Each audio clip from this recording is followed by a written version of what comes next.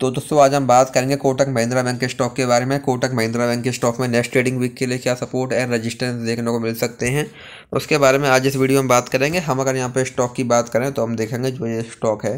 ये हमको पहले यहाँ पर लगातार क्लियर डाउन ट्रेंड में देखने को मिल रहा था। हमको यहाँ पर स्टॉक में लगातार लोअर लो लोअर हाई वाला पैटर्न यहाँ पर देखने को मिल रहा था। लेकिन फिर स्टॉक ने यहाँ पर सपोर्ट लिया, जिसके बाद से अभी अगेन हमको यहाँ पे स्टॉक में लगातार तेज़ी देखने को मिल रही है। अभी अगेन हमको यहाँ पे स्टॉक में हाइयर हाई हाइयर लो वाला पैटर्न यहाँ पर देखने को मिल रहा है। आज भी हमको यहाँ पर स्टॉक में 3.89 परसेंट की यहाँ पर एक अच्छी खासी तेज़ी देखने को मिली है। साथ ही आज की इस तेज़ी के साथ हमको यहाँ पर स्टॉक में एक बड़ा ब्रेकआउट भी यहाँ पर देखने को मिला है। ब्रेकआउट की बात करें जो ये स्टॉक है, ये पिछले एक लंबे समय से यहाँ पर लगातार वन के लेवल पर यहाँ पर रजिस्टेंस फेस कर रहा था, लेकिन आज स्टॉक ने इसको भी यहाँ ब्रेक किया है।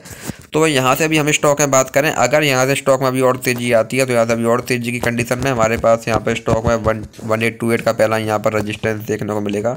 अगर स्टॉक इसको ब्रेक करता है देन यहाँ से हमको स्टॉक है वन नाइन ज़ीरो वन इसके बाद हमको यहाँ पर स्टॉक है वन नाइन नाइन थ्री और अगर स्टॉक ने इसको भी यहाँ ब्रेक किया देन यहाँ से हमको स्टॉक में again two zero six five इसके बाद हमको यहाँ पे स्टॉक में two one four six and then यहाँ से हमको स्टॉक में ट्वेंटी टू हंड्रेड और ट्वेंटी थ्री हंड्रेड तक के लेवल्स भी यहाँ पर देखने को मिल सकते हैं एज ए नेक्स्ट यहाँ पर रजिस्टेंस वही यहाँ से अब अगर स्टॉक में गिरावट आती है तो यहाँ से गिरावट की कंडीशन में हमारे पास यहाँ पर स्टॉक में वन सेवन एट वन का पहला यहाँ पर सपोर्ट देखने को मिलेगा।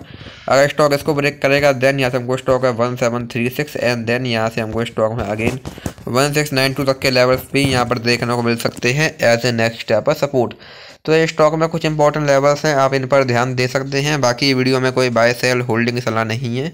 वीडियो केवल एजुकेशनल पर्पज़ के लिए है। धन्यवाद।